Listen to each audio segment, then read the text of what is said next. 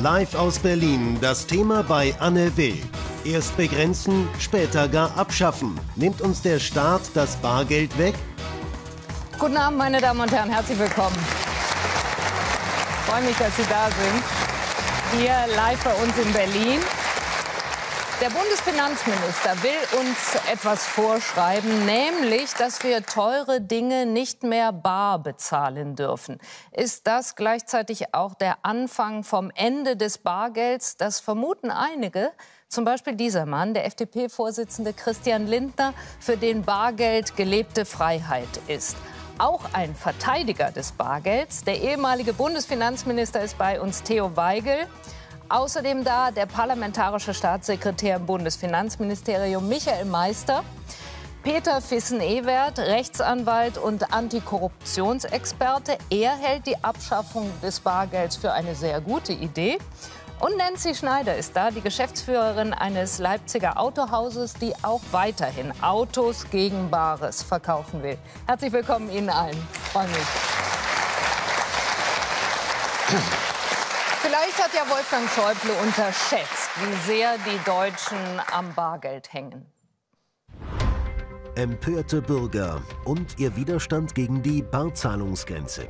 Die Mehrheit der Deutschen ist dagegen. Auch online finden sich zahlreiche Petitionen für Bargeld in unbegrenzter Höhe. Die Forderung Bargeld erhalten, keine Obergrenze, keine Abschaffung. Der Grund für die Beunruhigung, der Bundesfinanzminister will Barzahlungen begrenzen. Wir wollen Geldwäsche und Terrorismusfinanzierung effizienter bekämpfen. Die Idee, nur bis 5000 Euro sollen Barzahlungen erlaubt sein. Alles, was teurer ist, dürfte dann nicht mehr in Bar bezahlt werden. 5000 Euro ist viel zu wenig. Ja, ich fühle mich dann ein bisschen eingeschränkt. Ne? Also ich kann nicht machen, was ich will. Bargeld. Bargeld. Also Auf jeden Fall Bargeld. Bevormundung haben wir genug. Das ist mein Geld. Mein hart erarbeitetes Geld. Und da möchte ich auch frei drüber verfügen. Herr Lindner, wann haben Sie zuletzt mal was für, sagen wir, 5.500 Euro gekauft und bar bezahlt? Das muss ein Gebrauchtwagen gewesen sein und ist länger her. Das macht man nicht äh, jeden Tag. Warum regen Aber Sie sich dann so auf? Weil ich glaube, Frau Will, dass es sich hier um einen Einstieg handelt. Und dass wir heute über 5000 Euro debattieren. Der nordrhein-westfälische SPD-Finanzminister spricht schon von einer Grenze von 1000 bis 2000, vielleicht 3000 Euro. Also insofern geht das immer weiter. Und irgendwann kommt jemand auf die Idee, naja, schaffen wir das Bargeld doch ganz ab. Wissen Sie, äh, man muss doch immer skeptisch sein, wenn es plötzlich eine Allianz gibt zwischen der geldsüchtigen Regierung und zwischen Großbanken, die beide gegen das Bargeld wettern. Ich glaube, da kommt irgendwie unser privates Eigentum und unsere Persönlichkeitssphäre unter die Räder. Herr Meister, wir haben Ihren Chef im ähm, Film gehört, Wolfgang Schäuble, der gesagt hat, es geht darum, Terrorismusfinanzierung zu bekämpfen, Geldwäsche zu bekämpfen. Unterstellen Sie eigentlich jedem, der eine größere Summe in Bar auf den Tisch legt, automatisch, dass der sein Geld waschen will? Nein, Frau Will, das tun wir nicht. Wir haben überhaupt kein Problem mit Bargeld. Deshalb fordern wir auch keine Bargeldabschaffung. Wir haben auch kein Problem damit, dass die Menschen Bargeld besitzen. Wir haben aber gesehen, dass in Deutschland jedes Jahr etwa 100 Milliarden Euro gewaschen werden, Geldwäsche stattfindet. Und gegen diese Geldwäsche müssen wir etwas tun, weil das ja die Folgedelikte sind von anderen Dingen, Rauschgifthandel, Zigarettenschmuggel. Deshalb frage ich Sie das, ob Sie das dann jedem unterstellen, dass er da mitmacht. Nein, wir unterstellen das nicht jedem, sondern wir versuchen eine Balance zu finden zwischen den Freiheitsrechten der Bürger und den Sicherheitsbelangen der Gesellschaft, weil wir sehen, dass gerade im Bereich des Terrorismus viele dort, in Bayern haben wir ein Beispiel gesehen, die bayerische Finanzverwaltung hat ein Dschihadisten-Netzwerk aufgedeckt, die versucht haben, dort in Bayern Terrorismusfinanzierung in Deutschland zu organisieren. Und da kann eine Regierung nicht einfach untätig äh, zusehen und sagen, okay, das lassen wir laufen. Sondern ich bin der Meinung, wir müssen was dagegen tun, dass Deutschland ein Hort von Kriminellen ist. Oh. Deutschland hat als eines der wenigen Länder, es gibt nur sieben an der Zahl in der EU, die keine Restriktionen bei Bargeldtransaktionen haben. Deutschland ist ein extrem starker Wirtschaftsstandort mhm. und deshalb genau für die Menschen, die kriminelle Machenschaften pflegen, ein sehr attraktiver Platz. Und wenn da eine Regierung einfach zusieht und Kriminalität gewähren lässt, dann ist es Untätigkeit, die ich nicht als Bürger akzeptieren würde. Frau Schneider, äh, neu für mich, aber Deutschland ist ein Hort von Kriminellen, in dem Sie auch leben und Ihr Autohaus haben. Ja. Wenn Sie Ihren Meister zuhören, sind Sie dann jetzt überzeugt und sagen, nee, dann ist aber eigentlich eine gute Sache, wenn der Staat Ihnen und uns allen vorschreibt, dass Sie höhere Beträge bitte schön mit Karte bezahlen sollen? Das bin ich definitiv nicht. Und ich habe auch ehrlich gesagt jetzt aufgehorcht bei dem, was Sie jetzt gesagt haben. Ähm, Fakt ist, es ist ein Einschnitt in unsere Freiheit. Und ich als Verbraucher möchte selber entscheiden können, ob ich bar zahle oder mit Karte zahle. Mhm. Und ich sehe das ähnlich äh, wie der Herr Lindner. Wir werden alle über einen Kamm gezogen und äh, es wird davon ausgegangen, dass jeder erstmal potenziell kriminell ist. Und das finde ich schon ja, also sehr grenzwertig gegenüber den Verbrauchern. Ich habe natürlich auch gleich, als ich das gehört habe, als Unternehmerin gedacht und habe mir überlegt, was heißt das jetzt für mein Geschäft, mhm. für meine Kunden? Ist das überhaupt handelbar in der Praxis? Äh, was bedeutet das denn an Aufwand und an Mehrkosten? Gucken wir uns gleich noch mal einen Film an. Wir haben Sie mhm. besucht in Ihrem Autohaus und dann werden Sie uns das noch genauer erzählen. Ich behalte mal den Gedanken der Freiheit auch bei, aber auch den von Herrn Meister. Ähm, Herr Weigel, Sie waren Bundesfinanzminister. Ja. Sie haben sich auch der Bekämpfung der Geldwäsche verschrieben und haben da einiges äh, versucht. Warum sind Sie nicht auf die super Idee gekommen mit einer Barzahlungsobergrenze? Weil ich der Meinung bin, Bargeld ist etwas ganz Wichtiges, denn das Vertrauen der Menschen zum Geld und zur Währung muss sinnlich erfahrbar sein. Als wir den Euro eingeführt haben, am Anfang als Buchgeld, am 01.01.1999, hat das kaum jemand registriert. Aber zwei Jahre später und das war eigentlich schon die Einführung des Euro. Aber zwei Jahre später, als die, Menschen, als die Menschen die Scheine in der Hand hatten, die ja. Kickstarts bekamen, die Münzen, da wussten sie, jetzt ist etwas passiert. Das heißt, es gibt einen sinnlichen Bezug auch zum Bargeld. Und ich will ein ganz einfaches Beispiel erzählen. Gestern Abend war ich in meiner Heimat in Seeg in der Kirche. Die war noch voll, weil wir einen fabelhaften Pfarrer haben. Und da ging der Klingenbeutel rum dann habe ich mir vorgestellt, wenn die Ziele der EU zum Tragen kommen, dann geht der Küster, der Messner mit einem Messgerät rum und jeder muss dann eingeben, wie viel er dann spenden oder opfern will. Also äh, die Vorstellung, die jagt mir schon einiges äh, Grauen. Und insofern bin ich schon vorsichtig. Und da teile ich, ich etwas, da teile ich mal die Meinung von Herrn Lindner. Äh, wenn wir mal anfangen. Also die Italiener waren bei 1000, dann sind sie wieder auf 3000 gegangen. Die Dänen sind ganz runter. Ich habe Vertrauen in Sie, Herr Meister, weil ich Sie kenne. Und ich habe auch Vertrauen in Ihren Finanzminister. Beneide ihn nicht um seinen Job, nur um die niedrigen Zinsen, die Sie im Moment haben. Aber ich weiß ja nicht, was nach Ihnen kommt. Also insofern bin ich skeptisch. Und es gibt einen Bundesverfassungsgerichtspräsidenten, einen früheren, der sogar gesagt hat, es gebe ein Grundrecht auf Bargeld. Und ich meine, das sollte man sich im Bundesfinanzministerium und in Europa noch mal gut überlegen. Da Sie den Klingelbeutel angesprochen haben in Ihrer vollbesetzten Aber ich habe unter 5000 gegeben. Ich wollte also gerade fragen, aber ich, aber ich möchte Ihnen was zeigen, Herr Weigel. Gucken Sie sich das mal an, was wir äh, gefunden haben. Was meinen Sie, was das ist? Das ist ein sogenannter Kollektomat, der steht in etlichen Kirchen in Schweden bereits. Und da können Sie dann vor der Messe, während der Messe, ich weiß nicht wann, können Sie hingehen und können per Kartenzahlung. Ihr also Geld nicht mehr in den Klingelbeutel werfen, sondern per Tastendruck eingeben. Aber der, der Kirchenbesuch in Schweden ist sehr niedrig im Verhältnis zu dem im Allgäu. Nicht? Aber Frau Will, es geht ja, geht ja nicht nur um die Frage der, ich sag mal, Kosten einer Transaktion. Das ist das, was Sie angesprochen ja. haben beim ja. Gebrauchtwagenkauf oder Sie bei der Kollekte, was beim Flohmarkt passiert. Vielleicht will jemand gar nicht, dass ja. sichtbar ist, dass er etwas in die Kollekte geworfen hat. Vielleicht sorgt jemand sich um seine Privatheit und möchte nicht komplett gläsern werden gegenüber dem Staat und gegenüber anderen, die Einsicht haben in seine Transaktionen. Und ich finde deshalb, Bargeld ist eine Form von geprägter Freiheit, die wir uns nicht nehmen lassen dürfen. Aber lieber Herr Lieber, Sie engagieren sich genau in der gegenteiligen Richtung. Warum? Ja.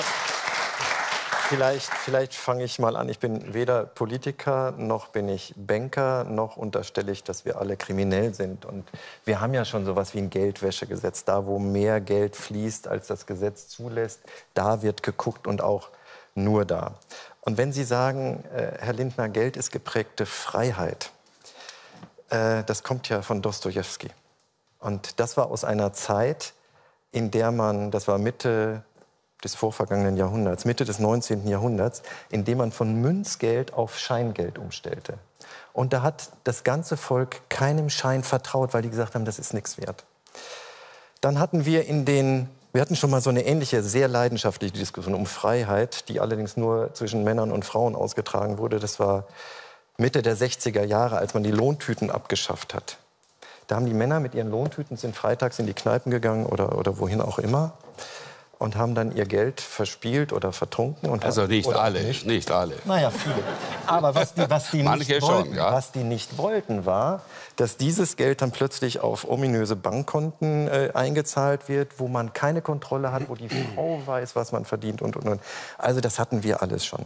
Was mich stört an der Diskussion und auch an dieser Freiheitsdiskussion, ich bin auch Freiberufler, Freidenker, alles, und äh, ich möchte mich auch gern frei bewegen. Ich mag nicht in einer Gefahrenzone leben, in der wir jetzt sind in der wir Terrorgefahr haben, in der wir hören, dass, ich weiß nicht, ob es wirklich 100 Milliarden Euro Geldwäsche im Jahr passieren und wir die Chance haben, durch eine Reduzierung von Bargeld, zunächst von äh, eine Reduzierung von Bargeld, derartige Terrorgeschäfte einzu, einzudämmen. Das ist mein erklären Sie uns den, Dann erklären Sie uns den Zusammenhang, Herr Fissen-Ebert. Sie haben gesagt, mhm. Sie sind kein Politiker, Sie sind Rechtsanwalt, Sie mhm. sind Antikorruptionsexperte, Sie engagieren sich bei Transparency International Deutschland. Dann Versuchen wir doch mal den Zusammenhang aufzudröseln zwischen der Terrorismusfinanzierung, äh, der Bekämpfung derselben und der Bekämpfung äh, der Geldwäsche und etwa dem Geschäft von Frau Schneider. Warum genau bekämpft es die Geldwäsche, wenn Frau Schneider kein Auto mehr verkauft, das teurer als 5000 Euro mehr ist, wenn derjenige sagt, ich will aber nur in Bar zahlen? Das ist relativ einfach. Wenn ich nicht in Bar bezahlen kann, muss ich einen anderen Weg äh, finden zu bezahlen. Mir wird das Geld ja nicht weggenommen. Ich habe eine andere Möglichkeit, eben Logisch. durch diesen Kollektomat ja. oder, oder ich überweise. Äh, das mag sein, das mag sein im Autohandel, dass es zu, zu Schwierigkeiten kommt. Ich weiß aber nicht, ob man so ein Auto sieht und gleich mitnimmt für über 5000 Euro. Das kann man sicherlich auch überweisen. Und sobald ich eine Überweisung mache, bin ich natürlich zunächst mal nachvollziehbar. Aber das, das muss natürlich, also so naiv bin ich da auch nicht, das muss natürlich äh, staatlich reglementiert werden, dass es nur dann nachgewiesen ist, wenn es Summen sind, die höher sind, als das Geldwäschegesetz erlaubt. Und ich habe heute, wir, wir alle sind ja im Zeitalter von Google und Amazon und was auch immer, was ich heute alles gegoogelt habe, ohne Angst zu haben, dass morgen der Staatsschutz da steht. Ich habe Geldwäsche gegoogelt, ich habe, ich habe äh, Terrorismus gegoogelt, ich habe all diese Sachen. Auch davor habe ich, wie gesagt, keine Angst, dass morgen der Staatsschutz da steht. Ich bin mir sicher, dass wir hm, datenschutzmäßig da einiges machen müssen. Das dass der Bürger geschützt wird. Aber ich sehe auch einen Schutz darin, wenn finanzielle Transaktionen aus Terrorgeschäften, wie wir das jetzt in Frankreich erlebt haben, nachvollziehbar sind. Dann fühle ich mich sicherer. Aber ist das denn gleichzeitig geplant, Herr Meister? Denken Sie an sowas? An die Datenschutzfragen, die dann anstünden? Also was wir haben, sind heute bereits relativ gute Möglichkeiten, Geldwäsche zu entdecken. Dann, wenn das Ganze unbar stattfindet. Wir haben zum das war jetzt nicht meine Frage. Meine Frage ja war. Nein, wir haben in, in dem unbaren Bereich relativ gute Möglichkeiten, solche Strukturen zu erkennen. Und unser Problem ist, dass wenn dann die Menschen, die Terrorismus vorhaben in der Finanzierung, die Geldwäsche vorhaben, ausweichen, indem sie die großen Transaktionen eben nicht dort, wo sie leicht entdeckbar sind, stattfinden, sondern im baren Bereich stattfinden. Dann schwindet das Entdeckungsrisiko. Und jetzt muss man schlicht und ergreifend sehen, dass viele Länder in Europa Grenzen haben, sehr unterschiedliche. Genau. Und deshalb ist unser Vorschlag, dass wir nicht national in Deutschland, sondern dass wir in Europa zu einem Bitte, einheitlichen Regime kommen, ja. um gemeinsam uns gegen Geldwäsche und Terrorismus zu wehren. Und da will ich zu Herrn Lindner eine Bemerkung machen. Hier wird absolut die Freiheit gesetzt. Ich möchte in einem Land leben, wo ich frei leben kann, aber auch sicher. Ja. Und deshalb müssen wir nicht das eine allein absolutieren, sondern wir müssen schauen, dass wir zwischen beiden eine Balance haben. Absolute Freiheit ist der wilde Westen und absolute Sicherheit ist Diktatur. Ich möchte keins von beiden, sondern ich möchte eine Balance von beiden. Und deshalb müssen wir was tun gegen Kriminalität, ohne dass wir dabei die Freiheit opfern. Aber da habe ich noch nicht die Antwort. Ich weiß nicht, ob Sie sie gehört haben, Frau Schneider, warum bei Ihnen im Geschäft die Terrorismusfinanzierung auch bekämpft werden soll oder, oder auch die Geldwäsche. Oder haben Sie gelegentlich Verdachtsfälle, wo Sie sagen, hm, derjenige hat sein Geld nicht hart erarbeitet, sondern der will mich hier nutzen, um mein Geld zu waschen? Also aus der Praxis kann ich ja hier erzählen, habe ich das bis jetzt noch nicht gehabt. Äh, Natürlich kann ich es nicht nachvollziehen, das ist klar. Also, es ist ja dann eine Gefühlssache, eine Intuitionssache, das ist klar. Aber wir dürfen mal eins nicht vergessen. Erstens bin ich der Meinung als Unternehmerin, dass es massiv ein Einschnitt ist, auch für die Wirtschaft. Denn ich, darf ich Ihnen das mal erklären? Ja. Äh, es geht nicht nur um Gebrauchtwagen, die komplett bar bezahlt werden. Es geht hier auch um Finanzierungsanzahlungen. Und die liegen durchaus höher als 5000 Euro. Jetzt habe ich das Ganze mal durchgespielt mit meinen Kollegen. Wenn ein Kunde kommt und möchte ein Auto kaufen oder er hat es schon gekauft und möchte es finanzieren, er kommt jetzt zur Auslieferung und er möchte diese sagen wir mal 8.000 Euro Anzahlung mit Karte zahlen. Mhm. Ja? Also wir empfehlen unseren Kunden immer sagen, bar ist okay, Sie können mit Karte zahlen, aber denken Sie dran, Sie haben in der Regel ein Limit. Sie dürfen an einem Tag zwischen 500 und 2000 Euro liegt es meistens bei unseren Kunden, dürfen sie gar nicht so viel bezahlen mit ihrer Karte. Dann gehen die meisten natürlich zu ihrer Bank, beantragen auch die, das Limit höher zu setzen. Das klappt aber in über 50 Prozent der Fälle nicht. Das heißt für uns, ich kann keine Kartenzahlung mit PIN-Eingabe machen und nur die ist sicher. Wer trägt denn jetzt bitte schön das Risiko? Wenn ich nämlich dann hergehe und sage, gut, dann Kartenzahlung mit Unterschrift, dann kann der Kunde das rein theoretisch 30 Tage zurückbuchen. Das ist eine Lastschrift. Mhm. Und wer trägt dann das Risiko? Sag das ich dann ja mit Überweisungen. Geht es ja auch. Ja gut, die muss er vorher aber machen. Ich würde ja das, das Auto dann erst Auslieferung ja, liefern, wenn ich die Überweisung habe. Das aber wollen die, die Kunden aber nicht. Das wollen, da haben Sie recht. Das wollen die Kunden aber nicht. Mhm. Die wollen, in der Regel kommen die, oder die meisten kommen mit Bargeld, weil sie sind stolz. Es ist eine Gefühlssache. Sie sind stolz, sie haben sich das Geld erarbeitet. Wir wollen das zählen, anfassen. Die Haptik spielt da eine ganz große Rolle. Das Gefühl spielt eine ganz große Rolle.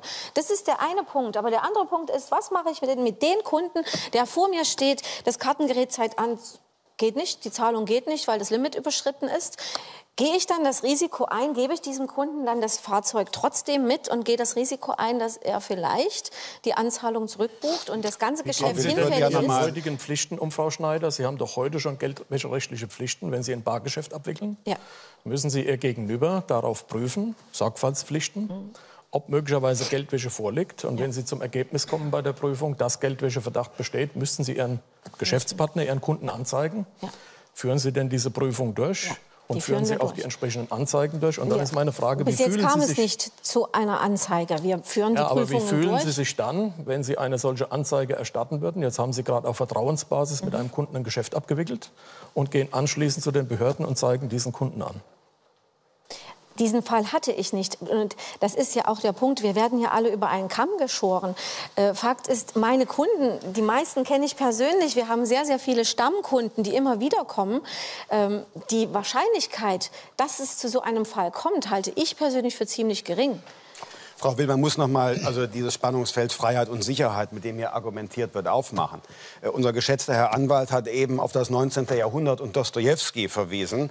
Äh, Sie sollten als Jurist wissen, dass das Bundesverfassungsgericht zuletzt 1998 also äh, im letzten und nicht im vorletzten Jahrhundert, äh, in unserer Gegenwart, geurteilt hat, dass das Bargeld einer, einem besonderen Schutz auch unserer Eigentumsordnung unterliegt. So, und vor ja dem Hintergrund, Herr Meister, müssen wir jetzt Ihre Abwägung vornehmen. Sie haben ja selber gerade gesagt, wir haben Bestimmungen, äh, die Geldwäsche verhindern sollen. Ja. Ja, ich äh, stelle in Frage, ob Herr Draghi, unser Zentralbankchef, und ob die Bundesregierung dafür sorgen, dass unsere Banken und Kreditinstitute das auch in hinreichender Weise umsetzen. Also es geht doch nicht darum, dass Millionen Kunden zum Beispiel im Gebrauchtwagenhandel kriminalisiert werden, mhm. sondern wenn eine suspekte Person ein einziges Mal vor einem Bankschalter mit einem Koffer voll Bargeld auftaucht. Da würde ich mir wünschen, dass hingeschaut wird. Was Sie machen, ist was anderes. Ähnlich wie der, bei der Vorratsdatenspeicherung, bei der Telekommunikation. Sie sammeln die Daten von allen Bürgern. Sie machen 80 Millionen Deutsche zu potenziellen Verdächtigen, statt sich um die wirklichen Gefährder zu kümmern. Und das mache ich Ihnen zum Vorwurf, denn auch kriminalistisch ist das nicht überzeugend. Wenn Sie die Nadel im Heuhaufen nicht finden, schon jetzt nicht, dann macht es einfach Doch. keinen Sinn, nach noch mehr Heu zu fordern, sondern müssen Sie die bestehenden Gesetze besser anwenden und umsetzen. Herr Fick, Herr Fick, Weige, bitte. Also,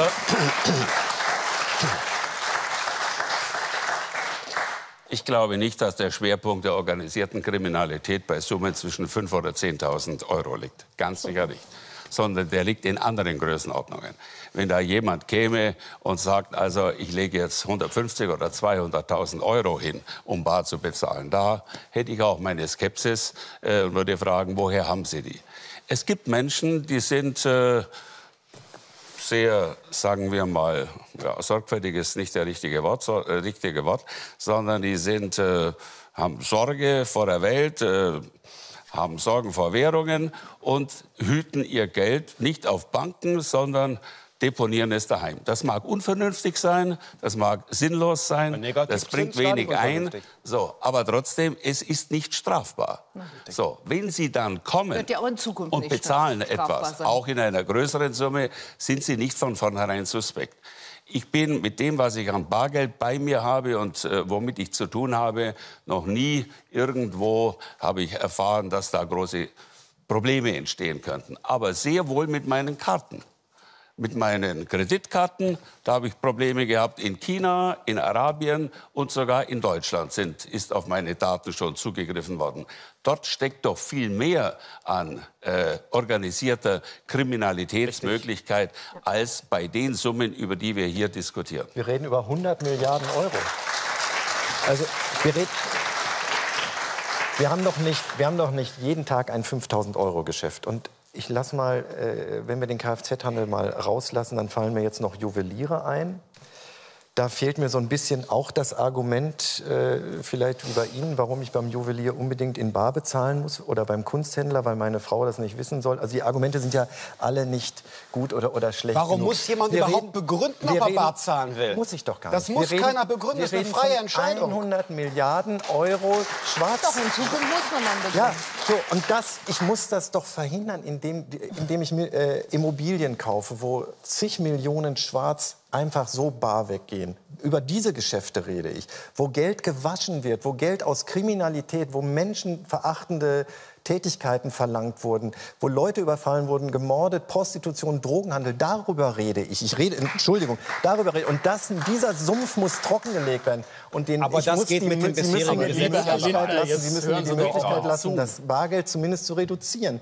Dann haben es diese Leute, diese Kriminellen nämlich deutlich schwerer. Aber ich will noch mal zurückkommen auf das, was Frau Schneider angedeutet hat. Gucken wir es doch uns einfach mal an, was es im Alltag dann bedeutete für jemanden, der vielleicht gar kein Terrorist ist und auch kein Geldwäscher ja. ist. 5.000 Euro, 6.500, 7.200, dann sind wir schon bei über 10.000 Euro. Unter 5.000 haben wir gar nichts. Allenfalls Modellfahrzeuge. Ob Barkauf oder Baranzahlung. Echtes Geld spielt im Autohandel eine wichtige Rolle. Wenn Sie sich vorstellen, ein Kunde kauft ein Auto und finanziert das und alleine die Anzahlung wäre höher als 5000 Euro, gehe ich ja ein großes Risiko ein, wenn ich das mit Karte bezahlen lasse. Äh, dann wäre es eine Lastschrift und der Kunde kann die ja zurückbuchen, eine gewisse Zeit lang. Und das ist ein großes Risiko für uns als Händler. Auch für viele Kunden ist ein Autokauf eng mit Bargeld verbunden. Ich würde in der Tat das Auto gerne bar bezahlen wollen, ja, richtig. Warum? Weil das natürlich für uns, wir haben ein bisschen was gespart. Äh, es ist oftmals so, dass wenn man bar bezahlt, man doch noch mal eine andere Verhandlungsposition hat. Hohe Beträge mit der Karte zahlen, das kann beim Autokauf schwierig werden. Stellen Sie sich vor, Sie kommen hierher, möchten Ihr Auto abholen. Sekt steht da, Blumen stehen da, Verkäufer freut sich, Sie freuen sich. Und dann wollen Sie die Anzahlung leisten oder vielleicht ein komplettes Auto per Karte bezahlen, haben mit Ihrer Bank gesprochen, dass das Limit erhöht wird für diesen Tag und es funktioniert nicht. Haben wir alles schon erlebt? Eine Zukunft mit Obergrenzen oder gar eine ganz ohne Bargeld. Nancy Schneider ist sich sicher, dann müssten die Kunden draufzahlen. Was bedeutet das für mein Geschäft, für meine Kunden? Das ist mehr Aufwand und natürlich mehr Kosten. Wir haben mehr Transaktionen. Und am Ende muss der Verbraucher diese Mehrkosten tragen. Herr Meister, was wir merken im Alltag, das wird ganz schön kompliziert. Ist so eine Obergrenze vielleicht doch keine gute Idee oder mindestens in der Höhe keine gute? Also ich habe ja vorhin gesagt, wir wollen eine EU-weit einheitliche Regelung, damit die auch für die Verbraucher händelbar ist und damit es auch wirksam ist für das Ziel Geldwäschebekämpfung und Terrorismusbekämpfung. Zum Zweiten, glaube ich, gibt es... Sie dann sein? Also unsere Idee ist, über 5000 Euro zu diskutieren. Die meisten EU-Länder, die eine Grenze haben, liegen deutlich niedriger. Das heißt, wir gehen mit einem relativ hohen Betrag in diese Diskussion hinein. Ich glaube auch, dass es alternative Zahlwege gibt, die durchaus geringere Kosten haben. Aber Sie Bargeld doch verursacht in der Transaktion durchaus ist, ne? Kosten. Und diese Kosten kann man auch nicht außer Acht lassen. Dann gibt es natürlich das Kriminalitätsrisiko gegen Ihren Kunden. Also, dass er möglicherweise auf dem Weg zu Ihrem Autohaus einer Kriminalität zum Opfer fällt. Oder wenn Sie Ihr Beklaut Bargeld wird, wieder zur Bank bringen, auch dann besteht ein Risiko gegenüber Ihnen.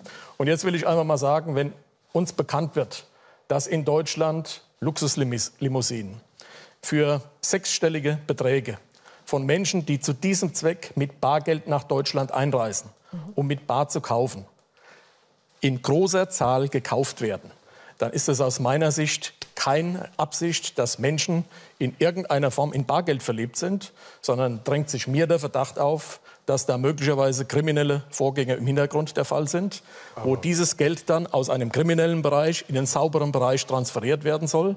Und da kann man nicht einfach zuschauen und sagen, das ist uns zu teuer, sondern da muss man Aber abwägen, Meister, welche Risiken gehen wir eigentlich als Staat ein. was Sie gerade beschrieben haben? Ist das nicht nach geltendem Recht bereits ähm, zu verhindern? Brauchen Sie dafür neue Gesetze oder reichen die bisherigen Geldwäschegesetze nicht bereits aus, um diesen Kauf von Luxuslimousinen zu verhindern? Nach geltendem Recht muss derjenige, der den Kauf tätigt, also der als Verkäufer tätig wird, wenn der Kaufpreis oberhalb 15.000 Euro liegt, seinen Kunden prüfen, ob Geldwäscheverdacht besteht.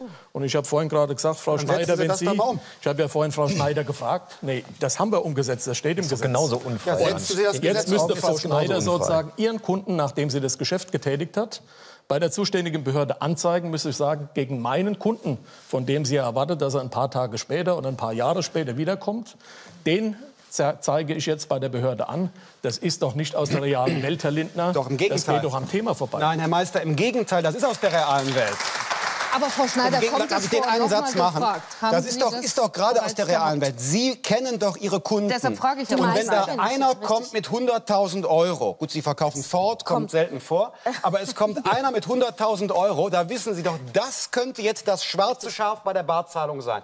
Ich empfehle Ihnen, Herr Meister, vertrauen Sie doch ein klein bisschen mehr den Unternehmen und vor allen Dingen den Bürgerinnen und Bürgern. Frau Schneider, Ich noch hab mal großes gefragt, die Vertrauen, Herr Situation hatten Sie nie, ne? Ich habe sehr großes Vertrauen und die- deshalb machen wir kein Verbot gegenüber Bargeld und Bargeldbesitz, sondern deshalb wollen wir lediglich dafür sorgen, dass bei den Transaktionen die Frau Schneider aus ihrem Gewissenskonflikt herauskommt. Aber Sind Sie da Ehrlich, das, das, glaub, das, das nehme ich Ihnen nicht ab. Der erste Punkt, Sie haben es gerade angesprochen, die Luxuslimousinen. Der größte Markt für deutsche Luxuslimousinen liegt in Russland, in den arabischen Staaten und in den USA. Bei denen ist es Usus, dass man bar zahlt. Wollen wir jetzt behaupten, dass alle diese Menschen, die sich dann hier eine Luxuslimousine kaufen, kriminell sind? Das wäre eine Unterstellung. Äh, weiß nicht, ob, die, ob man die so tragen kann. Das ist der erste Punkt. Und ähm, ich möchte einfach, dass meine Kunden die Wahl haben. Dass die die Wahl haben, ich kann bar zahlen, ich kann mit Karte zahlen. Wenn sich der Trend dahin entwickelt, dass man sowieso mehr mit Karte zahlt, was ja auch so ist, dann ist das in Ordnung. Aber sie haben nicht die Wahl. Und das ist für mich einfach eine Beschneidung der Freiheit der deutschen Verbraucher. Und da kann ich nicht mitgehen. Und wie Sie das schon sagen, ich habe nicht die Erfahrung gemacht, dass meine Kunden mit Schwarzgeld kommen oder dass ich den Verdacht darauf habe. Wir werden ja selber so kontrolliert. Äh, Wir haben jedes Jahr eine, eine Prüfung im Haus. In dieser Größe, wie mein Autohaus ist, haben wir jedes Jahr eine Prüfung vom Finanzamt im Haus. Äh, Da kommt sowas nicht vor. Also wir, wir haben diesen Fall faktisch nicht. Herr Weigel. Was die Größenordnung anbelangt, wenn zum Beispiel aus der Schweiz jemand nach Deutschland kommt, werden viele kontrolliert und er wird gefragt, haben Sie mehr als 10.000 Euro bei sich? Wenn er mehr als 10.000 Euro bei sich hat, muss er erklären, woher er das hat. Etwa, und das kann möglicherweise von den äh, Institutionen, vom Zoll oder wem auch immer verfolgt werden. Ich bin auch überzeugt, wenn jemand aus Russland einfliegt, muss er auch im Flugzeug deklarieren, äh, wie viel er Geld dabei hat. Das heißt also, wenn er mehr als 10.000 oder ich weiß nicht, welche Summe im Moment äh, gesetzt ist, bei sich hat, muss er das ebenfalls deklarieren. Das heißt, er macht sich strafbar, wenn er darüber hinausgeht und das nicht deklariert hat. Und in einem solchen Fall ist es, wie ich meine, durchaus berechtigt, dann in der Größenordnung zu sagen, bitteschön, erklären Sie mir mal, damit ich selber nicht in Verdacht komme, woher kommt das Geld, kann ich auf Sie mich verlassen, äh, wie ist Ihr Name, damit ich das jedenfalls dokumentiere. Ich glaube, dass damit genügend Vorkehrungen getroffen sind, um auch solche Ausnahmefälle entsprechend zu würdigen Wäre das der und Weg, Herr justiziabel zu machen. Naja, das Problem ist, dass die Leute ja nicht einfach im Flugzeug sitzen und sagen, ja, ich habe mehr als 10.000 drin, sondern die Leute packen das in Koffer oder wie auch immer. Ich kann aber die Zahlen damit, noch aber, mal wiederholen. aber damit, hat er sich, damit hat er sich schon natürlich gegen die Vorschriften Ja, aber da, äh, das ist ihm relativ egal, wenn er damit ein anderes schickes Geschäft machen kann. Wir reden über 100 Milliarden und wir reden über eine Schattenwirtschaft, die im Ranking von 0 bis 82 liegt Deutschland auf Platz 8. Das ist ein ganz schlechter Platz. Da ist Jersey noch besser und Hawaii ist noch besser. Und die Gründe sind ganz einfach. Obwohl wir eine Rechtsstaatlichkeit haben, alles ist super und das soll auch so bleiben. Ich sage nochmal, ich, ich will Freiheit. Es gibt zwei Gründe, warum das so ist. Deutschland liegt in der Mitte von Europa und ist super attraktiv für Geldwäsche und Kriminalität. Und der zweite Grund, das ist der Hauptgrund, es gibt keine Beschränkung des Bargeldverkehrs. Das, ist die, das ist die Begründung, warum wir so eine Geldwäsche haben.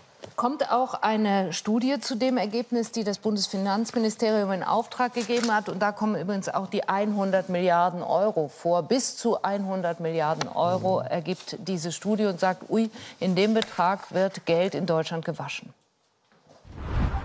Schwarzgeld waschen, das geht am besten mit Bargeschäften. Auf bis zu 100 Milliarden Euro pro Jahr schätzt eine Studie im Auftrag des Finanzministeriums das Geldwäschevolumen in Deutschland insgesamt. Luxusgüter kaufen und in Bar bezahlen.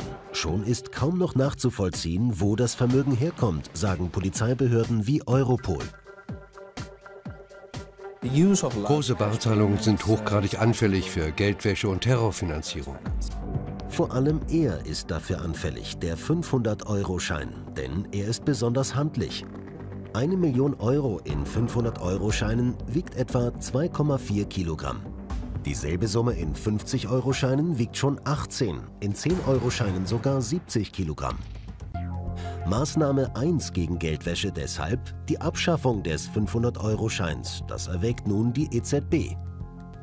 Maßnahme 2, die Obergrenze für Barzahlungen. Dadurch fiele es Geldwäschern schwerer, ihr bares Schwarzgeld loszuwerden, betonen Kriminalisten schon seit langem. Wenn wir hier eine Grenze einziehen und sei sie nur bei 10.000 Euro, äh, dann machen wir es den Tätern schwerer, weil sie eine Papierspur hinterlassen müssen, wenn sie über Bankkonten entsprechende äh, Kaufvorgänge vornehmen müssen. Herr Weigel, das klingt ja schon beeindruckend, was Europol da sagt, was der Kriminologe am Schluss sagt. Und auch die Studie ist so zustande gekommen, dass viele Kriminalitätsexperten gefragt worden sind.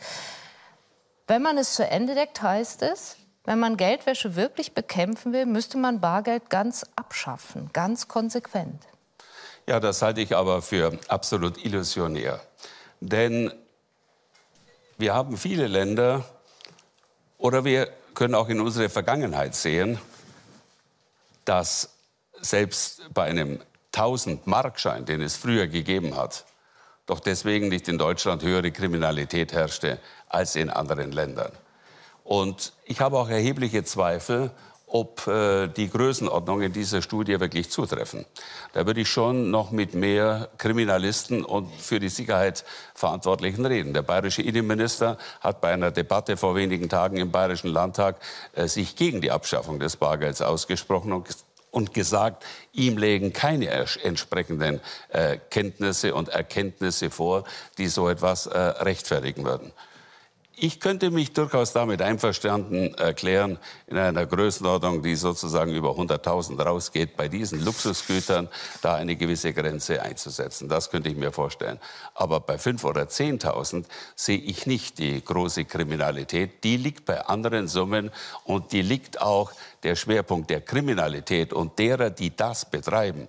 Die beherrschen das andere Geschäft ohne auf Bargeld angewiesen zu sein, wie ich meine, so exzellent, dass wir damit nur einen Teilsektor ansprechen, aber nicht die wirklichen Probleme der organisierten Kriminalität im Geldwesen. Dennoch muss man noch mal sagen, die Studie, ich glaube, Sie nehmen sie sehr ernst und sie hat Sie sehr überzeugt, oder? Ja, die Studie hat deutlich gemacht, wo die Probleme liegen. Oder hat sie Sie nur überzeugt, weil Sie sie selber in Auftrag gegeben haben? Nein, die Studie ist unabhängig gemacht worden. Wir wollten, das war ein Auftrag, der sich aus der EU-Geldwäscherichtlinie ergeben hat.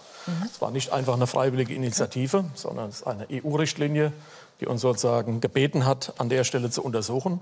Wir haben untersucht, und zwar durch unabhängige Wissenschaftler. Und die zum, sind zum Ergebnis gekommen, wie das eben angeklungen ist, dass wir ein sehr wirtschaftsstarker Standort in der Mitte Europas sind und dass wir ein Land sind, was eben bei den Transaktionen keine Grenzen vorgibt. Und deshalb sind wir für Geldwäsche ein sehr attraktives Zielland. Und dann bei der Quantifizierung hat man die einzelnen Märkte angeschaut. Immobilienbereich, Yachtenkauf, Luxusimmobilien, Immobilien. Ähm, dann die Frage ähm, Schmuck, Mhm. Kunstwerke. Das heißt, es ist Ja. wirklich, sind die einzelnen Branchen durchgegangen worden und ist untersucht worden, was passiert dort eigentlich. Und das ist dann im Gesamtvolumen in die Abschätzung hineingekommen. Jetzt schlagen wir ja nicht vor, das Bargeld abzuschaffen, ist überhaupt kein Vorschlag. Wir schlagen auch nicht vor, bei der Stückelung von Geldscheinen etwas zu verändern. Das ist nicht die Diskussion der Bundesregierung. Der EZB-Rat hat gesagt, den 500-Euro-Schein, den brauchen wir eigentlich nicht mehr, können wir Herr abschaffen. Weigel wird mit Sicherheit mir zustimmen, wenn ein Vertreter der Bundesregierung die Unabhängigkeit der Notenbank in den der geldpolitischen Fragen unterstützt. Also das ist eine Sache der Notenbank, die haben wir nicht zu bewerten. Aber wir sagen, bei den Transaktionen sehen wir ein erhebliches Risiko, weil dafür gesorgt wird, dass das, was aus Kriminalität gewachsen ist, wieder in den legalen Bereich der Wirtschaft geführt wird. Und genau dort wird ein massiver Beitrag geleistet, dass dann die eigentlichen Kriminalitätsdelikte, ich habe vorhin angesprochen, Zigarettenschmuggel, Rauschgifthandel, Terrorismus stattfinden können. Und Sie müssen doch von einer Regierung erwarten, Ja. dass wenn wir erkennen, dass solche Delikte stattfinden und wenn wir einen Zugang haben, die zu unterbinden, indem wir die Geldströme identifizieren und dann dagegen vorgehen können, dass wir die Möglichkeiten nutzen und nicht, wenn Paris passiert ist, Herr Lindner, dann einfach sagen, ach, was sind wir betroffen? Wir bedauern die Opfer und wir bedauern ihre Angehörigen. Wir haben doch als Regierung eine Verantwortung, präventiv dafür zu sorgen, dass die Menschen in Deutschland sicher leben können. Aber vielleicht ist die Paris haben die wir- falsche. Aber in Herr Paris haben wir ja-. Herr Weigel hat ja gesagt, bei 100.000 Euro, da würde er auch Verdacht schöpfen. Und da hätte er das Gefühl, da ist was, äh, was Schlimmes äh, im, im Schilde geführt. Ist vielleicht die 5.000 Euro einfach viel zu niedrig? Also wir haben bisher Äh, die oder falsch 15.000 Euro angesetzt. Grenze im Gesetz, die heute schon Mhm. Jedem Geschäftsmann aufgegeben ist, wenn eine 15.000 Euro Barzahlung oder höher stattfindet, dann seinen Geschäftspartner zu prüfen, Sorgfaltspflichten wahrzunehmen, ob dort möglicherweise Geldwäsche vorliegt. Das haben wir heute schon im Gesetz. Wir haben jetzt gesagt, unser Interesse daran ist, eine einheitliche EU-weite Regelung zu bekommen, sowohl was die Höhe betrifft, wie auch was die Frage betrifft, welche Transaktionen sind denn davon erfasst.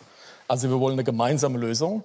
Und da die meisten Länder niedriger liegen als 5.000 Euro, haben wir gesagt, für uns könnte eine Diskussionsgröße sein, diese 5.000 Euro. Wenn man jetzt mal Anfang, realistisch schaut, bei 50 Euro in Deutschland wird etwa die Hälfte aller Zahlungen bereits unbar durchgeführt. Die durchschnittliche Menge an Bargeld, die ein Deutscher in seinem Geldbeutel hat, das sind Erhebungen der Bundesbank, liegt bei un- 103 Euro. Das heißt, wenn man da über 5000 Euro spricht, dann sind wir bereits in einem Bereich, der weit über den Klingelbeutel in der Kirche oder über das normale Tagesgeschäft hinausgeht. Deshalb glauben wir, dass wir an der Stelle eine realistische Größenordnung haben für die Diskussion, wo kann man denn Geldwäschegefahren bekämpfen und Terrorismusgefahren und wo kann man das normale Geschäft im Bargeldbereich, wo wir die Menschen gar nicht beeintrichtigen wollen, einigermaßen voneinander trennen. Aber wie wollen, Sie, wie wollen Sie da und wirklich zu Ende erzählt, wenn man das Bargeld vollständig wie, abschafft? wie wollen Sie da mit Dänemark zu einer Einigung kommen, die bei Null sind? Also, oder Italien, die bei 3000 sind, vorher bei 1000 gewesen sind. Das heißt, das geht doch noch wesentlich weiter runter. Und dann sind wir schon in einer Grenzzone, wo in der Tat man sich fragt, ja, ist jeder, der Bargeld, sagen wir mal, in der Größenordnung von ein paar tausend Euro mal benutzt, um etwas zu kaufen oder etwas zu verschenken, äh, ist er dann sofort in der Gefahr, sich rechtfertigen zu müssen? Ja, und es Ich kommt noch glaube, was Herr Weigel, weiteres Die hinzu. Antwort ist relativ einfach. Heute müssen diese Länder, die schon eine Grenze haben, zur Kenntnis nehmen, dass Kriminelle aus ihrem Land in Deutschland Geld waschen. Kommt zu uns. Wenn wir es schaffen würden, eine gemeinsame europäische Lösung zu finden, dann wären diese Schlupflöcher zu. Und deshalb kann ich mir vorstellen, dass auch andere Länder, auch wenn die Zahl etwas höher liegt als die, die sie heute national haben, ein Interesse haben an einer gemeinsamen europäischen Lösung. Also Sie haben doch jetzt mehrere interessante Dinge gesagt, Herr Meister. Äh, Sie haben äh, zunächst einmal ausgeführt, äh, was vielleicht nicht allen Zuschauerinnen und Zuschauern bekannt war, dass nach dem Geldwäschegesetz bereits jetzt eine Grenze bei 15.000 Euro liegt. bei der muss geprüft werden, wo kommt das Geld her? Ist mein Geschäftspartner äh, seriös? Ist das Geld nachvollziehbar in dessen Mhm. Händen? Das haben Sie gesagt, das ist geltende Rechtslage. Ja, ja. Und jetzt haben Sie zum Zweiten eine Studie in Auftrag gegeben. Äh, Die wird zwar von Fachleuten bezweifelt. Herr Weigel hat darauf hingewiesen, dass selbst die bayerische Staatsregierung und das Finanzministerium dort, ist ja Ihre Parteienfamilie sogar, äh, dass die diese äh, Zahlen in Frage stellen. Aber nehmen wir nun mal an, die Studie würde stimmen, dass Deutschland ein Eldorado für die Geldwäscher wäre. Dann ziehe ich daraus eine ganz andere Konsequenz als Sie. Wir haben geltende rechtliche Bestimmungen. Ab 15.000 Euro muss geprüft werden. Und wir haben gleichzeitig offensichtlich ein Problem beim Volumen der Geldwäsche. Da sagen Sie jetzt den Leuten, ja, wir brauchen neue Gesetze. Meine Schlussfolgerung ist eine andere. Die Regierung muss die geltenden Gesetze einmal anwenden und durchsetzen und nicht immer wieder zu neuen verschärften Gesetzen kommen. Aber was heißt denn das, was Sie sagen, Herr symbolisches Lindner? Handeln ist. Was heißt denn das, was Sie Genau. sagen, Herr Lindner? Das heißt, Sie zwingen jetzt die Frau Schneider, ihre Kunden anzuzeigen. Aber das Herr haben Sie Herr gerade Meister, gefordert. ja, aber das ist doch unrealistisch. Die Frau Frau, Meister- Schneider will doch ihre Kunden nicht Herr anzeigen. Meister, aber Frau Schneider hat doch eben gesagt, sie möchte gar nicht von Ihnen geschützt werden, weil sie nämlich ihre Kunden kennt, weil sie als Geschäftsfrau über viele Jahre möglicherweise auch eine Menschenkenntnis entwickelt hat und weiß, wen sehe ich öfter und wer kommt zum ersten Mal durch die Tür. So, und bei dieser Abwägung zwischen Freiheit und Sicherheit äh, wollen wir doch eins auch mal dann in der praktischen Konsequenz vor Augen führen. Das wird dann äh, eine schiefe Ebene geben. Wie gesagt, Ihr Koalitionspartner SPD ist ja schon in ganz niedrigeren Größenordnungen unterwegs, europäische Partner auch. Am Ende Sie werden wir den nordrhein-westfälischen so ist es. Finanzminister. So ist am Ende Norbert haben wir gar kein Bargeld an. mehr. Und das wünschen sich, das wünschen sich Herr Draghi, das wünscht sich offensichtlich auch mancher Regierungsvertreter und das wünschen sich die Banken. Und da muss man doch fragen, warum gibt es eine solche Allianz von Regierung, von Banken und von Zentralbank? Ich sage Ihnen warum. Zum einen, weil dann die Kundinnen und Kunden schutzlos dem Gebührenwucher der Banken ausgeliefert sind, weil sie keine Chance haben, auf Bargeld auszuweichen. Und zum Zweiten, und zum Zweiten, Sie sind Kann man doch- in der FDP, ne? ja, aber sicher bin ich in der Sie FDP. sind und deshalb, der Linkspartei. Nee, und ne? deshalb, Partei ich, wir, ja, genau. Wir sind eine Partei, Staune, ich eine. Partei der Freiheit und nicht der Banken. Das ist ein großer Unterschied. Ja, ich auch nicht. Ja, und äh, ähm, jetzt komme komm ich auf mein zweites Argument mit, mit Herrn Draghi. Wir haben ja jetzt schon Negativzinsen äh, für die Institute. Das wird doch auch ausgeweitet werden. Wenn niemand mehr fliehen kann unters Kopfkissen mit seinem Geld, sondern man das alles auf dem Girokonto hat, ist doch ein leichtes. Aber das Sie fordert doch wollen niemand, Herr Lindner. aber das fordern doch nur Sie. Aber das Reden. kommt, das kommt aber doch Aber ganz niemand. schnell. Ich habe gesagt, wir wollen die Geldscheine aber- nicht verändern aber den Besitz nicht lieber, verändern Lieber, Herr, lieber. Herr Meister, wir haben doch jetzt auch nun viel Erfahrung mit äh, Das ist doch ein, ein virtueller Gegner, den Sie C- aufbauen und gleichzeitig wir haben doch, wir haben doch viel Erfahrungen. Wir haben Geld. doch, Herr Meister, viel Erfahrungen mit CDU-Finanzpolitikern. Die CDU hat gesagt, keine Steuererhöhungen. Jetzt wird der Soli verlängert. Das wollen wir und Herr, aber und nicht Herr Schäuble, und Herr spricht doch den Punkt. Wenn er mich anfragt, will ich auch antworten. Ich will lieber Ihren Punkt und Herr aufnehmen, Schäuble will in hatten, Europa auch bei die dem man sich Benzinsteuer fragt, was ist das denn überhaupt? Jetzt bin ich schon froh, dass Sie die CSU-Finanzminister ausgenommen ich haben. ausgenommen. alle durcheinander hier. Ich ordne jetzt kurz und nehme Ihr Wort auf, bei dem vielleicht manch einer äh, zu Hause gedacht hat, äh, was hat er gesagt, wie war das denn nochmal, Negativzins, wie hängt das jetzt damit zusammen? Unterstellt in der Tat, was Sie, äh, damit tingeln Sie im Moment über die Dörfer, weil sich das, glaube ich, auch im FDP-Wahlkampf Ast reinmacht, indem Sie sagen, ja äh, hier... Wahlkampf, sondern es Sie geht sind um ja im Wahlkampf. Ja, Gut, ich bewerb, bewerbe mich um Zustimmung. Bekenne ich mich zu. Genau. Ja? Und da Das ist mein sagen Auftrag Sie, als Politiker. dass eine Barzahlungsgrenze in Wahrheit äh, der Anfang vom Ende des Bargelds ist. Das ist jetzt die Voraussetzung, kurz mitgedacht, meine Damen und Herren, wieso man auf den Negativzins kommen könnte. Aber Lange Zeit waren es Sparer gewohnt, dass sie dafür belohnt werden, wenn sie ihr Geld zur Bank bringen. Doch für den deutschen Kleinsparer gibt es derzeit nur noch magere Minizinsen.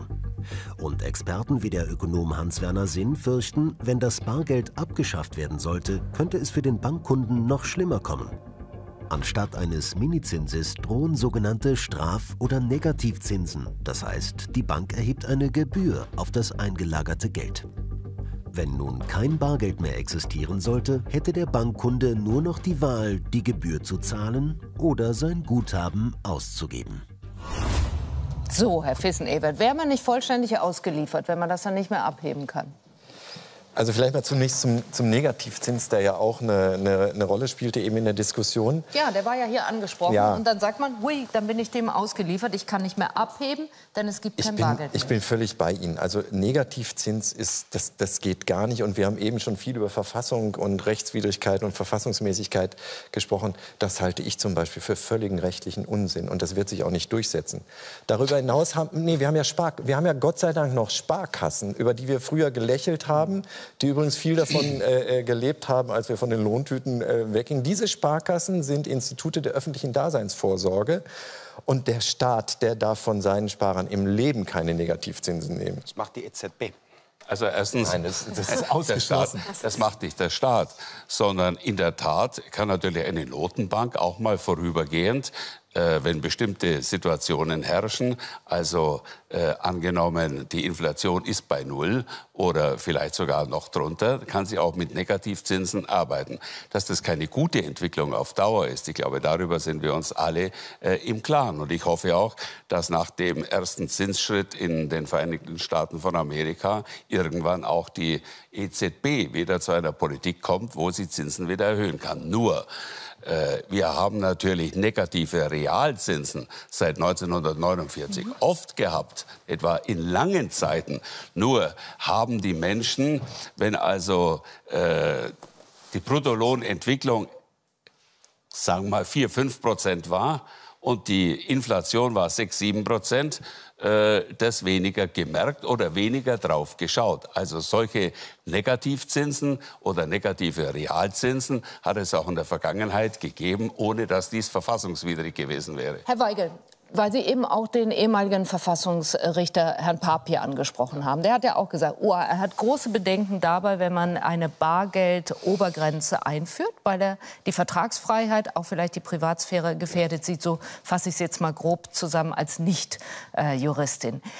Sehen Sie denn die gleiche Gefahr, dass Herr Lindner sagt, guck mal, wenn wir Bargeld Obergrenzen einführen, wenn wir es erschweren, ähm, zu bezahlen, wenn wir immer die Kreditinstitute dazwischen haben, betreibt dann die Politik irgendwann die Politik der Banken? Ja, es kann natürlich durchaus sein, äh, wenn wir das hätten, dass es gar kein Bargeld mehr gäbe, ja. Äh, dass dann das Ausweichen auf die Banken dazu führt, dass der Sparer noch weniger bekommt, jedenfalls vorübergehend, als bisher. Ich halte das nicht für richtig und nicht für gut. Darum kämpfe ich auch dafür, dass Bargeld grundsätzlich erhalten bleibt. Ich bin nicht, Herr Meister, gegen jedwede Grenze, um das auch mal klar zu sagen. Es Bei 100.000 Euro so, würden also Sie sagen, mache ich nicht. Das würde ich davon abhängig machen, nicht von dem, worauf wir uns heute in der Runde einigen, sondern was mir gesagt werden kann aus verlässlichen und belastbaren Quellen und Gutachten. Das würde ich mir durchaus genau anschauen. Aber die Größenordnung, über die wir im Moment diskutieren, etwa in der Größenordnung von 5000, die halte ich nicht für realistisch. Und ich kann der Politik nur raten, gegen den Willen der großen Mehrheit der Bevölkerung so etwas nicht in Angriff zu nehmen. Ich glaube nicht, dass dies ratsam ist. Ja, der Gutachter Gutachter hat uns ja, Herr Weigel, dazu eine Empfehlung gegeben. Der Gutachter hat gesagt, wir sollen eine Bargeldobergrenze für Transaktionen zwischen Gewerblichen einführen, die irgendwo zwischen 2.000 und 5.000 Euro anzusiedeln ist. Jetzt sind wir nach Europa gegangen und haben die obere Grenze unseres Gutachters genommen als Diskussionsvorschlag. Das heißt, wir haben das ja genau in dem Sinne, wie Sie sehen, schon gemacht, dass wir gesagt haben, wir greifen dort möglichst hoch.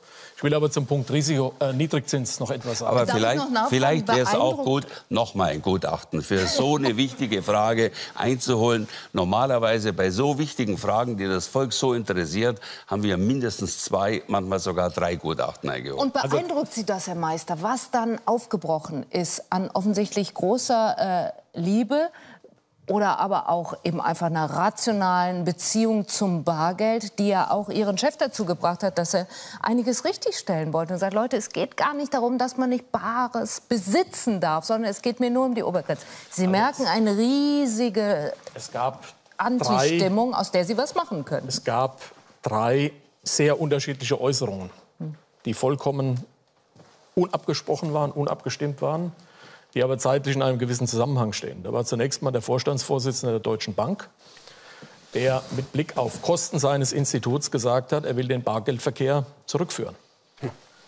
Dann gab es die Aktivitäten, die Sie vorhin gezeigt haben bei den Geldscheinen in Ihrem Film, in dem Einspieler. EZB, Ja. die die Diskussion führen, welche Geldscheine werden wir in Zukunft haben, wie gehen wir mit dem 500-Euro-Schein um. Und dann gab es unsere Initiative, die mit diesen beiden Diskussionen überhaupt nichts zu tun hat, über die Frage, wie bekämpfen wir Terrorismusfinanzierung und Geldwäschefinanzierung. Und ich glaube, Frau Will, aus diesen drei vollkommen unterschiedlichen Quellen Zufälle hat sich, hat sich eine Debatte entwickelt, auch von der Herr Lindner versucht, parteipolitisch ein bisschen zu profitieren. Aber ich bin jemand, der in der Verantwortung steht und nicht nur Politiker ist, sondern ich habe eine, eine, ein Amt und muss der Verantwortung dieses Amtes gerecht werden. Und das ist das, was wir versuchen. Deshalb haben wir auch nicht gesagt, die Zahl ist in Stein gemeißelt, sondern wir haben gesagt, wir gehen nach Europa und versuchen eine kluge gemeinsame Lösung zu finden. Und Herr Kollege Weigel, es ist jetzt so, dass die Kommission jetzt einen Auftrag hat, von den Finanzministern mal zu prüfen, was wäre denn in Europa eine kluge Grenze. Und ich gehe davon aus, dass die Kommission sich auch Rat holen wird. Und dann werden wir zeitnah auf dieser Basis die Frage diskutieren und hoffentlich auch zu einer Entscheidung kommen. Frau Schneider, unterstellen Sie auch, dass es in Wahrheit irgendwann um die Abschaffung des Bargelds geht? Ja, kein Mensch glaubt wirklich, dass es bei den 5000 Euro Obergrenze bleibt. Und äh, die Erfahrung hat gezeigt, und Sie haben es auch gesagt, es geht um einen Angleich in der EU. Also wenn wir angleichen wollen, sind wir ja jetzt schon in vielen Ländern bei 1000 Euro. Und äh, meiner Meinung nach ist es ein Schritt in Richtung Bargeldabschaffung. Und das ist ganz klar. Es geht hier darum, die Menschen, die Bürger zu kontrollieren, die Ströme zu kontrollieren, den gläsernen Menschen zu schaffen. Und dagegen müssen wir uns ganz entschieden stellen. Denn wenn schon die Mehrheit der Bevölkerung sagt, wir wollen das nicht, wir wollen selbst die 5000 Obergrenze nicht, dann können wir nicht hergehen und sagen, okay, jetzt haben wir 5000 und in einem Jahr äh, haben wir dann nur noch 3000 und dann äh, wird es immer weniger werden, die Obergrenze. Und das funktioniert nicht. Dann frage ich mich, wo ist da der Datenschutz? Ich kann, ich kann meinen Kunden noch nicht einmal anrufen, wenn er nicht eine Datenschutzerklärung unterzeichnet hat, wo er angekreuzt hat, ja, Sie dürfen mich anrufen. Dann darf ich den noch nicht mal anrufen und sagen, Ihr Auto ist da oder Ihr Auto ist fertig repariert. Das darf ich nicht. So, aber die Banken und der Staat, der darf dann sehen, welche Transaktionen ich überall tätige. Und wenn ich irgendwo auf einer Raststätte was esse, muss ich ja dann perspektivisch mit Karte zahlen. Dann äh, bin ich absolut gläsern. Jeder weiß, wann ich wo war und Frau wann ich Schneider, was Sie gekauft leben doch habe. in einem Rechtsstaat. Jetzt ist zwar, wenn Sie ja, jetzt ist zwar, wenn Sie unbar agieren, das Ganze nachvollziehbar, aber da Sie in einem Rechtsstaat leben, kann nicht einfach der Staat hingehen und nachschauen, welche Transaktionen Ja, ja. gelaufen sind, Aber- sondern es muss einen Grund geben, es braucht eine gerichtliche Anordnung, sonst kommen Sie an die Daten überhaupt nicht dran. Nur, es gab und das ja ist Meister, genau wie ein Rechtsstaat bei uns Jahr funktioniert, das halte ich auch für gut Eine so. riesige Zahl an Kontoabfragen, auffallend hoch. In 2015 waren es mehr als 300.000 Kontoabfragen von Banken. Ehrlich gesagt, da werde ich auch misstrauisch. Ja, wir hatten ja in der Vergangenheit auch relativ hohe Hinterziehungstatbestände bei der Kapitalertragssteuer.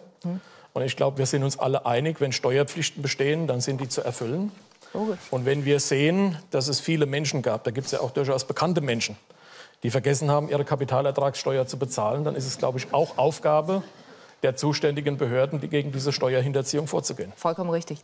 Vielleicht sind wir sogar selber dabei, das Bargeld abzuschaffen. Gucken wir mal nach Schweden. Die haben ihren bargeldlosen äh, Verkehr schon so weit vorangetrieben, dass man da wahrscheinlich bald kein Bargeld mehr braucht. Cash auf die Hand, so mögen es die Deutschen. Vier von fünf Transaktionen werden in Bar getätigt. In Schweden ist das anders, zum Beispiel hier in Stockholm. Alltag an der Supermarktkasse. Erst selbst einscannen, dann elektronisch bezahlen. Und auch U-Bahn-Tickets gibt es nur mit Karte. Im. Moment habe ich überhaupt gar kein Bargeld bei mir. Ich gehe ganz ohne in die Stadt. Denn ich habe ja meine Kreditkarten. So, because I have the credit card.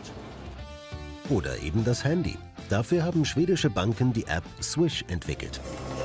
Med Swish skickar vi pengar med mobil. Das Handy wird mit dem Bankkonto gekoppelt und schon lassen sich Geldbeträge bequem überweisen, von Handy zu Handy, nur mit der Telefonnummer.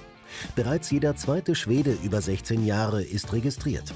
Experten glauben, Schweden ist auf dem Weg zur ersten bargeldlosen Gesellschaft der Welt. Herr Fissen-Ewert, schaffen wir das selber ab, das Bargeld?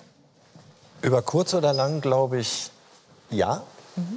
weil ähm, also die Schweden machen es vor.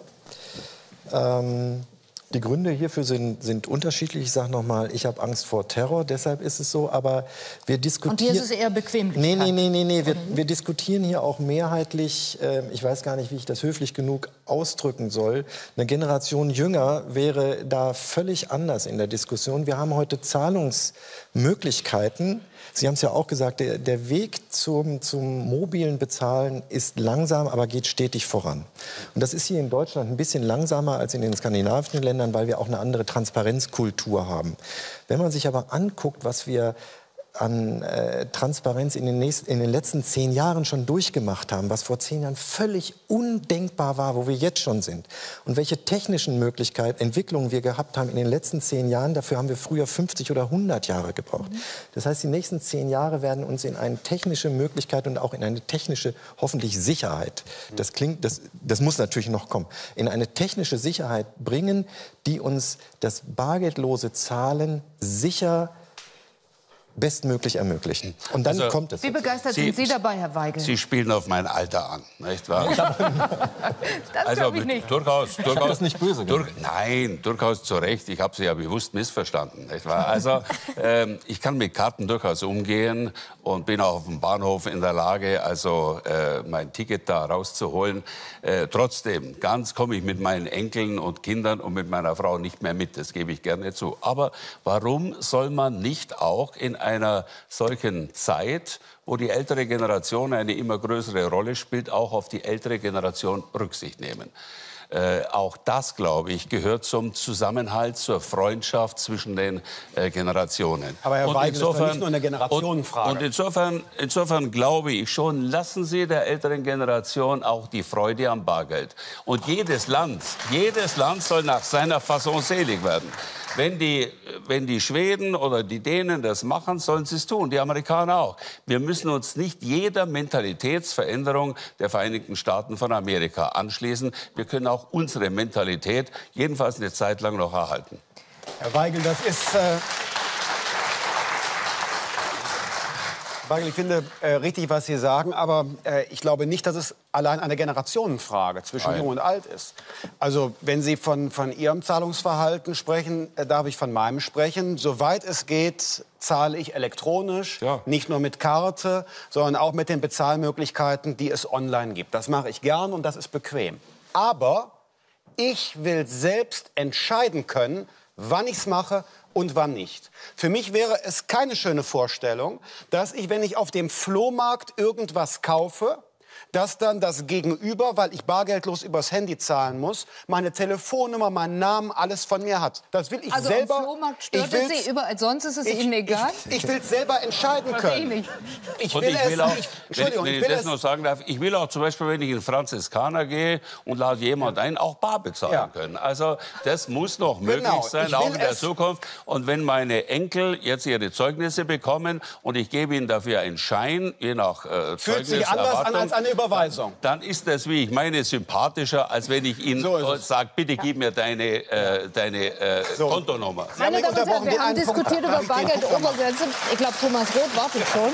Und den kann man, den kann man nicht bestechen, nicht mit Bargeld, nicht mit, mit einer Karte. nicht mit Überweisung. Na, auch nicht mit einer Überweisung, äh, sondern nur mit der Frage, kann man ihn bezirzen, glaube ich, Thomas. Was habt ihr heute vor? Ja, Anne, genau so kann man das tun. In der vergangenen Nacht ist ein Thema, wurde im sächsischen Bautzen eine geplante Asylunterkunft in Brand gesteckt. Aber fast noch beunruhigender dabei ist, mehrere Gaffer standen dabei und klatschten offenbar sogar noch Beifall. Das ist ein Tagesthema. Naja, und in der Fußball-Bundesliga stellte der Schiedsrichter heute in einem Spiel alle Spieler vom Platz. Hatten wir auch noch nicht. Gleich. Das also jetzt in den Tagesthemen. Das war unsere Diskussion über die Bargeldobergrenze und über das, oder die vermutete Abschaffung des Bargelds auch noch. Noch ist das nicht entschieden, aber wir haben es schon mal diskutiert. Meine Damen und Herren, danke, dass Sie da waren. Nächsten Sonntag wieder. Bis dann. Tschüss.